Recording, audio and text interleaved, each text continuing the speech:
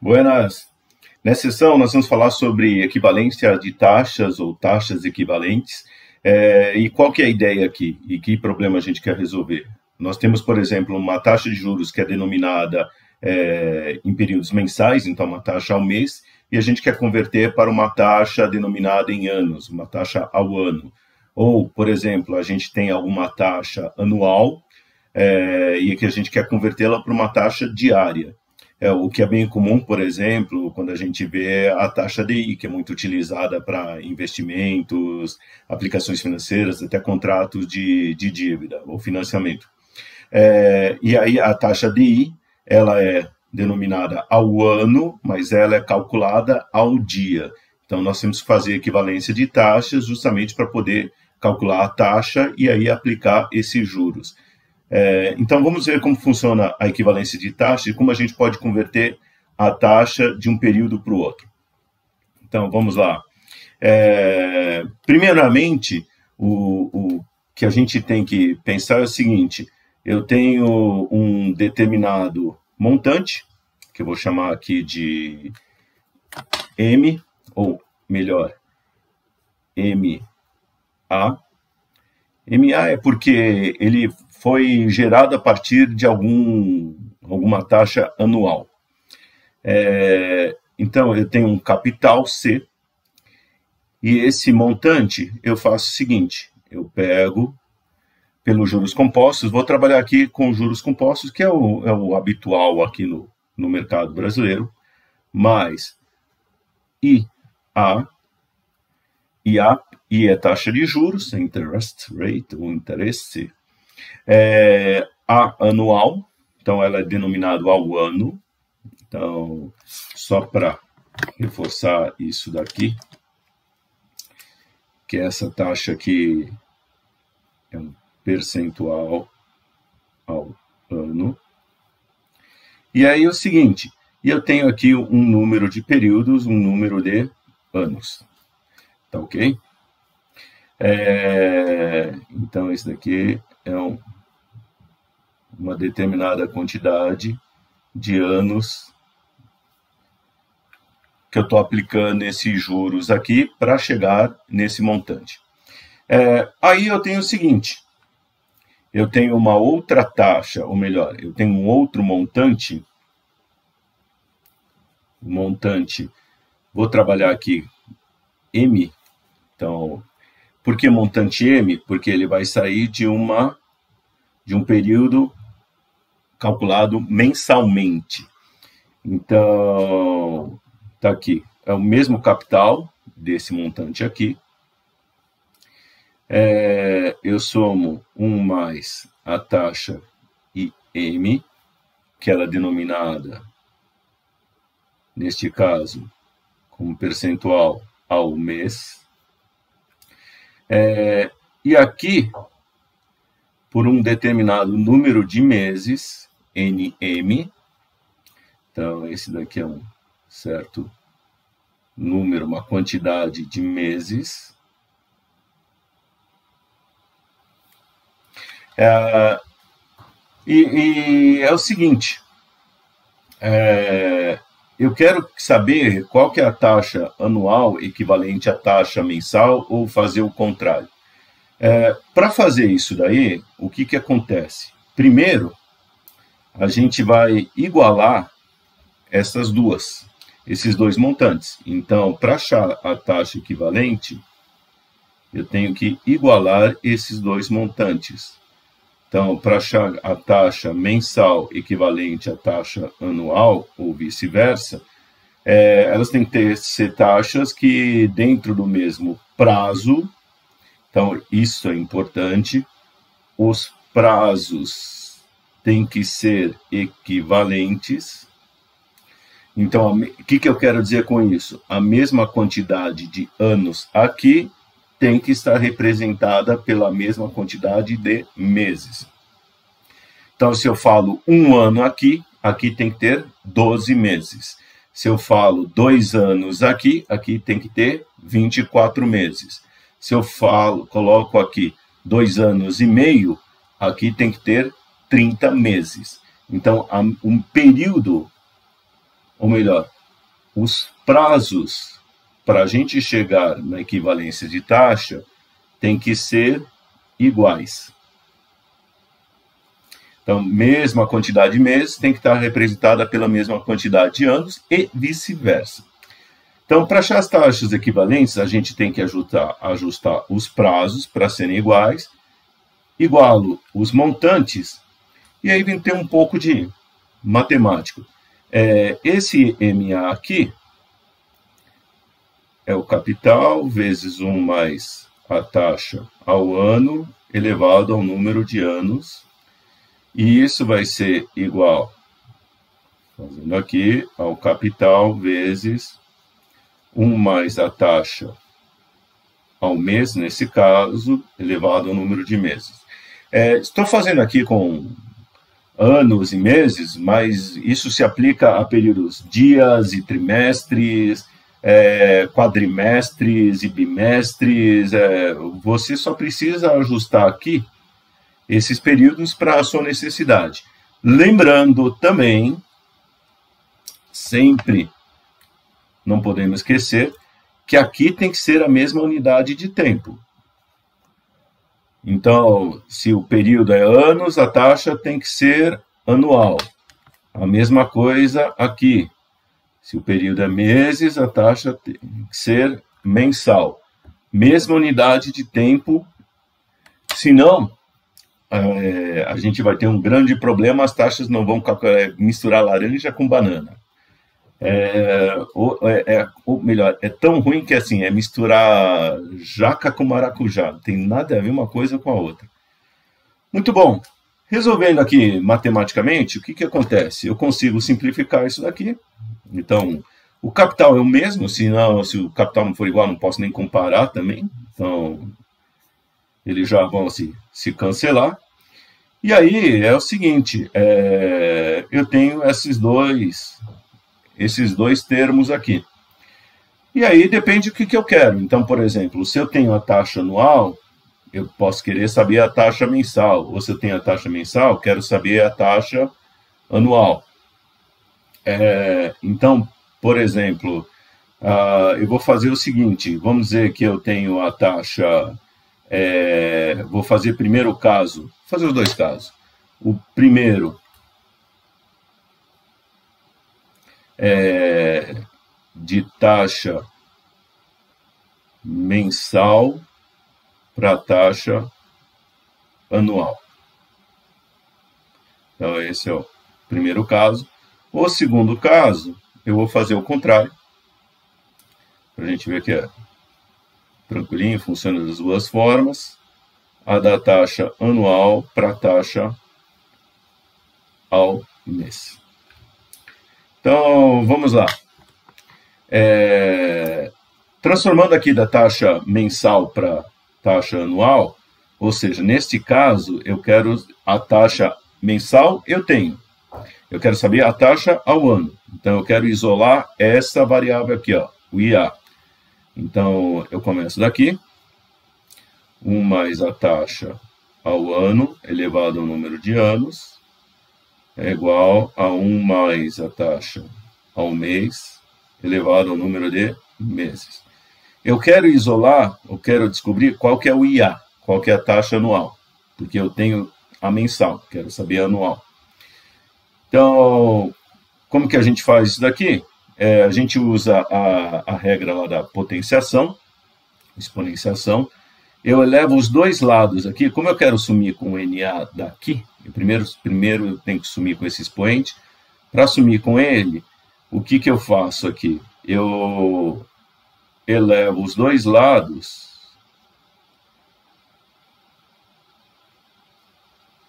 a 1 sobre NA. Então, elevo os dois lados aqui da nossa equação, isso é uma equação, a 1 sobre número de anos, que eu quero assumir aqui. O que, que acontece quando eu faço isso? É aquela regrinha da, da exponenciação, então cancela aqui. Aí eu vou ter que isso daqui vai ser 1 mais i a, não vamos esquecer do a, 1 mais a taxa IA. É, aqui vai dar, eu cancelei, então vai ser 1 mais IA elevado a 1, que é igual a 1 mais IA, e aqui vai ser 1 mais taxa IM elevado ao número de meses sobre número de anos. Então, e finalizando aqui, aí eu posso já é, jogo um para o outro lado, vai subtrair a taxa ao ano é 1 mais a taxa ao mês, elevado ao número de meses sobre número de anos, tudo isso menos 1. Então, dessa forma, a gente chega na taxa anual a partir da, da taxa mensal. Já vamos fazer um exercício no Excel, inclusive, para a gente brincar com isso. É, e agora eu vou fazer a mesma conta, só que transformar da taxa anual para taxa mensal. Então, eu tenho a taxa anual, quero saber a taxa mensal. A fórmula é a mesma, 1 mais a taxa ao ano, a base é a mesma aqui sobre o número de anos, é igual a 1 mais a taxa ao mês sobre o número de meses. É, e aí é o seguinte, eu quero isolar a taxa mensal, porque anual eu tenho. Então, eu faço 1 mais i elevado, aliás, 1 mais a taxa IA, taxa de juros A, elevado a NA. Quero sumir com o NM, para poder isolar o IM, a taxa I.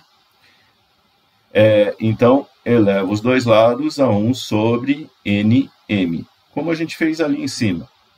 Só que é o contrário, que a gente queria as taxas contrárias. 1 mais IM elevado a NM vezes 1 sobre número de meses. E aí também a gente faz a mesma coisa. Então, vou cortar esse com esse aqui, são iguais, vai dar 1. É, então, eu tenho que 1 mais a taxa ao ano, elevo ao número de anos sobre número de meses é, é igual a 1 mais a taxa mensal. E aí pronto, aí é só isolar a taxa mensal, taxa IM. Então, manda um para o outro lado subtraindo. Então, a taxa mensal é igual 1 mais a taxa anual elevado ao número de anos sobre número de meses, e o resultado disso a gente subtrai 1. É, reparem que até assim, é, é uma contrária da outra. Então, no momento que a gente entende como chega em um determinado, uma determinada transformação, depois para transformar ali é super tranquilo, é só pensar o contrário. É, vocês quem der uma olhada em algum livro de matemática financeira, algum site de matemática financeira, eles vão dar algumas regrinhas. Olha, a, a taxa que a gente quer saber, coloca o número de períodos embaixo, aqui em cima. A taxa que eu já tenho, eu coloco o número de períodos em cima. E vocês podem criar suas próprias regrinhas e tal para quem quer decorar, ou entender como que a gente chegou nisso daqui. Vocês viram, é algo bastante tranquilo. É, não tem muito mistério, talvez só relembrar uma outra. É, quem está enferrujado, alguma regrinha aí de potenciação, exponenciação. Também não é, assim, não usamos nada muito sofisticado aqui. Ah, e aí a gente já tem como converter de uma taxa para outra. Mas nunca esquecer que na hora que eu vou converter, o prazo, o mesmo prazo tem que estar representado aqui, nesse expoente, tanto em cima como embaixo. Então, número de dias aqui, número de, é, de dia, o prazo aqui ao ano tem que estar o equivalente ao mês, para a gente saber, ou melhor, para transformar uma taxa de equivalente a outra. E aí a gente pode falar, olha, a taxa ao ano aqui é equivalente à taxa ao mês aqui, tá certo? Depois a gente pode usar, depois que a gente converteu a taxa, a gente pode fazer o trabalho que quiser, aí calcular, quero calcular um número, de, quero calcular só três meses. É, mas é, primeiro é o seguinte, se você tem uma taxa denominada ao ano e quer transformar em mensal, primeiro tem que fazer isso, garantindo os prazos iguais dos dois lados, e aí você faz a transformação. Fez a transformação, aí você pode calcular dois meses e meio, por exemplo, aqui embaixo. Cheguei na taxa mensal, posso calcular dois meses e meio, é, quatro meses, 128 meses, aí é o gosto do freguês. Mas primeiro, dada a taxa anual, e eu quero trabalhar com meses, eu tenho que fazer essa transformação. Senão, os montantes calculados de um jeito ou de outro não vão bater. E não batendo vai dar ruim. Então, vamos praticar é, aqui com Excel. Eu já deixei estruturado uh, um exemplo que, que a gente vai trabalhar da seguinte forma. Então, eu tenho aqui a minha taxa, que é de referência, é uma taxa anual, então vou colocar um período aqui, ó, prazo de um ano, é, e a taxa de 12% ao ano, já está com três casas aqui depois da vírgula, então vou até diminuir isso, depois a gente aumenta se for o caso. E aí vou calcular a taxa equivalente ao mês. Então, como eu vou fazer isso? Vou usar a fórmula que a gente uh, até agora usou e, e, e decompôs. É, a primeira coisa, eu tenho que ajustar o prazo. Então, este prazo aqui da operação tem que ser o mesmo prazo, ou seja, tem que ser um prazo equivalente na outra unidade de tempo. Então, no caso, é meses. É, e aí a gente sabe que um ano tem 12 meses. Inclusive aqui eu vou usar uma fórmula. Eu vou pegar aqui esse prazo em anos e vou multiplicar por 12 meses. É, eu estou fazendo isso porque se eu multiplicar, se eu, ou melhor, se alterar é, onde está o prazo de um ano para dois anos, para três anos e meio, o prazo equivalente em meses vai estar sempre correto. Uh, isso é, é, é, legal, principalmente quando a gente está construindo planilha, quanto mais fórmulas a gente colocar é, em menos valores fixos, mais flexível vai ser essa fórmula, ou em um lugar que eu mexo, já vai alterar todo o resto. Então está aqui. É, e para colocar, calcular a taxa, eu já tenho a fórmula. Então, reproduzir aqui a fórmula.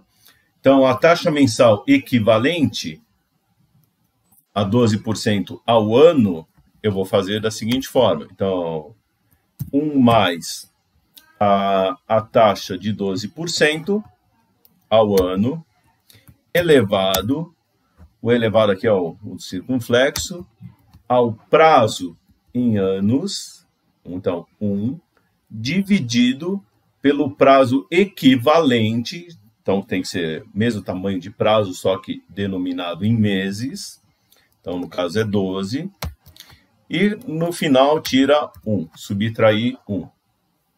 Se eu quisesse poder colocar um parênteses aqui, mas uh, o Excel trabalha com precedência de operações. E a primeira operação mais importante aqui para ele é aqui, ó, é a potenciação, a exponenciação. Então, primeiro ele vai calcular aqui ó, 1 mais o C3, que é o 12%, elevado a esse a essa potência aqui, C2 sobre C4. Depois de resolver tudo isso, ele subtrai 1. É... Muito bom. Feito isso, dou Enter, está aqui. Então, 0,949% ao mês é equivalente a ter 12% ao ano. É... E agora é o seguinte: eu vou pegar essa taxa mensal e vou utilizá-la para a gente chegar numa taxa, por exemplo, pelo prazo de três meses. Então, um uso disso, eu peguei e transformei a taxa anual em taxa mensal, e agora vou fazer o seguinte: aplicar essa taxa mensal, mas por um período só de três meses. Então, como que eu faço isso? Eu pego agora 1 mais a taxa mensal, e agora eu quero levá-la, ela é equivalente a um mês só, eu quero levar para três meses. É, então, elevo a 3 aqui uh, e tira 1 para chegar na taxa acumulada. Então, está aqui, Enter. Então, essa taxa de 0,949% ao mês, se eu acumulá-la por três meses, vai ser equivalente a 2,874% ao período. E aí a gente pode trabalhar à vontade. É, vou mostrar também o seguinte: vou pegar essa mesma taxa, ou melhor, vou fazer essa mesma transformação agora, só que considerando o prazo de um ano. Vou pegar, vou copiar essa mesma taxa de 12%. Então, repare que estou copiando a célula. Ah, e agora eu vou fazer a transformação. Só que aí, ao invés de transformar de taxa anual para mensal, eu vou transformar de taxa anual para taxa trimestral. É, e aí é o seguinte: tem que fazer a equivalência de prazos. Em um ano, eu tenho quatro trimestres. Então, cada trimestre são três meses, no ano eu tenho quatro trimestres.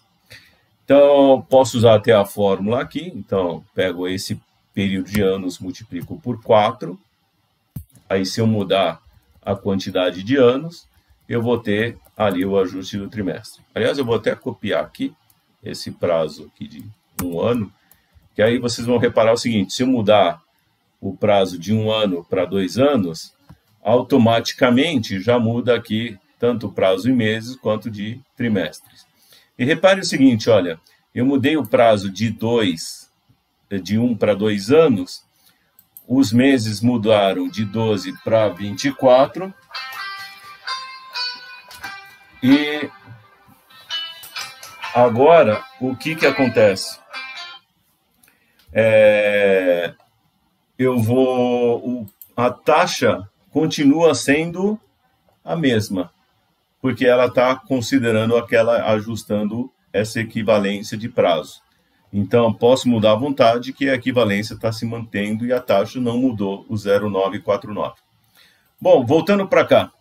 É, deixa eu voltar aqui para um ano. Poderia continuar igual, mas só para a gente voltar onde a gente estava. É, agora é o seguinte, eu quero transformar a taxa de 12% ao ano em um equivalente ao trimestre. Então, eu uso a mesma fórmula aqui, só que é onde está M de mês, é como a gente pensar o seguinte: olha, eu troco M por um, um T de trimestre. Então, para calcular, segue a mesma fórmula: 1 mais a taxa ao ano, que é a taxa que eu conheço, que eu quero transformar, elevado ao prazo de referência, um ano, sobre o equivalente em trimestres. Então, sempre aquela história. O, o prazo em anos tem que ser do mesmo tamanho em trimestres. E subtrai um, seguindo aqui a fórmula. Essa aqui é a mesma fórmula que a gente usou para cá. A única coisa que mudou, o que, que era ano é trimestre. Cal, tira, calculando então, dou enter aqui, dá 2,874% ao trimestre, que reparem, é a mesma taxa que a gente pegou e tinha calculado aqui, ó. Só que eu fiz por outra conta, ou melhor, segui outro, outro outra referência. Primeiro eu transformei de taxa mensal, de anual para mensal e depois eu acumulei por três meses. Poderia ter feito a transformação assim, chegaria no mesmo resultado. Tudo bem? É... Muito bom, pessoal. Então, vocês viram aqui como que a gente chega no cálculo da taxa trimestral, como que a gente faz essas contas, inclusive usando Excel. É, e aí eu recomendo praticar. É, a gente usa muito equivalência de taxas, então muito trabalhar existe. Hoje a gente vive num, num ambiente de taxas de juros pequenos, então é muito comum, como as taxas são pequenas, fazer a denominação delas em taxas anuais. Só que na hora de aplicar a gente transforma para mês ou para dias, como por exemplo a famosa taxa DI, a gente trabalha muito ela na, ela é denominada ao ano, mas a gente trabalha ela ou capitaliza ela diariamente. E aí tem que transformar de ano para é, diário. Tá bom? Até mais.